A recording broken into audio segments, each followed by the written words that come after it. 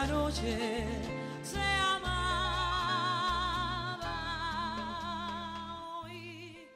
Buenos días! Меня зовут Анастасия, и сейчас я нахожусь на крыше в самом центре Гаваны. Сама я, конечно же, не кубинка.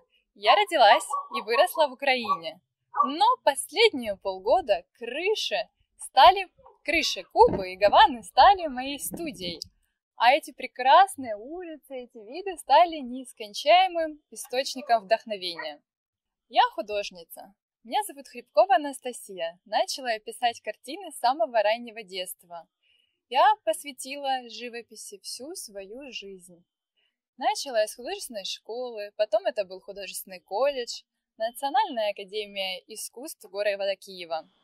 Причина, по которой я решила создать серию картин «Моя Гавана», это мое желание познакомить людей с кубинской культурой. Это благодаря краскам и холстам передать этот яркий колорит, этих красивых людей, эти сочные пейзажи, красивые закаты, рассветы, пальмы. Вся эта красота, она настолько меня впечатлила, что вот, знаете, вот просто был бы грех с моей стороны не, не написать всю эту прелесть. Мое знакомство с Кубой началось еще задолго до приезда на остров. Шесть лет назад еще я начала увлекаться латиноамериканскими танцами.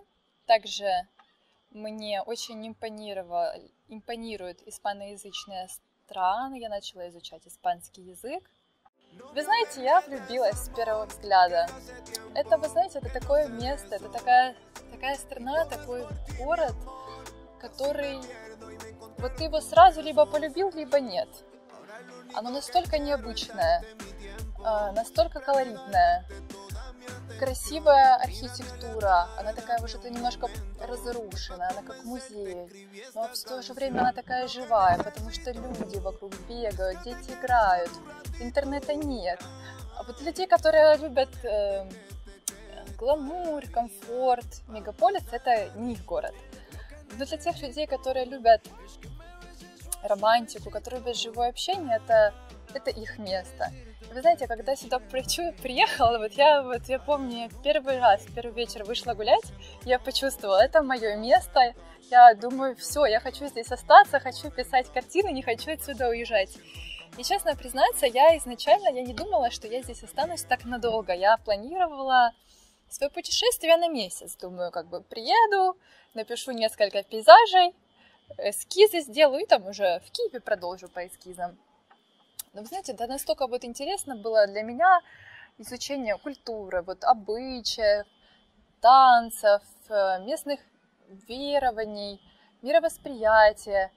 Э, очень много времени вот заняло даже чисто само вот познание города, прогулки по улицам, просто чтобы написать-то какую-то страну, да, вот э, глубоко ее понять, ее нужно полюбить, ее нужно узнать.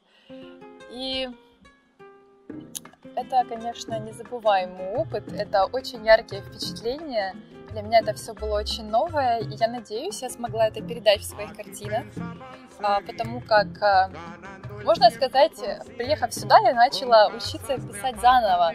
Совершенно все другое. Другие улицы, другие люди, другой колорит. Да это просто... Вот это мое, знаете, поэтому и выставку, вот эту серию я решила назвать «Моя Гавана», потому что это место я полюбила, оно стало вот действительно моим, я его прочувствовала. Я жила э, я не жила в гостинице, я жила в обычной кассе, то есть в обычном кубинском доме с семьей.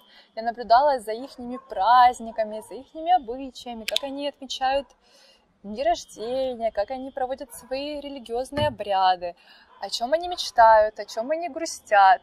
И для меня было очень важно в своих картинах это все передать. Моей задачей, написав эту серию, было не просто показать вот этот вот э, занавес, это, эту декорацию, которую видят туристы, когда сюда приезжают, да, вот ты приехал в Гавану, все такие жизнерадостные, вас танцуют, вокруг встречают, нет, у Гаваны, как, конечно же, у любой другой столицы, у любой другой страны есть обратная сторона. здесь очень много своих каких-то минусов, нету интернета, безработица, с образованием многие люди не имеют его. Но вы знаете, при этом все меня настолько поразило, насколько местные люди жизнерадостные, насколько они оптимистично смотрят на жизнь, и насколько в этом плане, к сожалению, иногда мы от них отстаем, при том, что не сравнить наш уровень жизни и их. Они люди очень жизнелюбивые, очень жизнерадостные, и это то, чему нам нужно у них поучиться.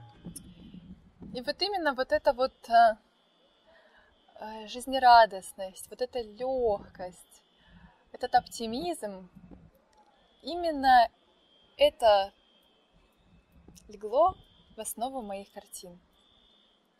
Ведь каждый из нас, по сути, сам творец своей жизни, сам художник своей картины, правильно ведь? И то, каким она будет, яркая, жизнерадостная или угрюмая и печальная, зависит только от нас. Que una flor. Abre sus puertas